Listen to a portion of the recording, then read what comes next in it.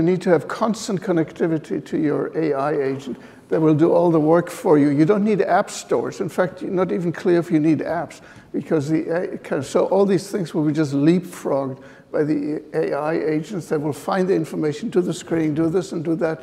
So app stores will kind of go away and all these kind of 200 apps that you have on the cell phone, why do we need them then?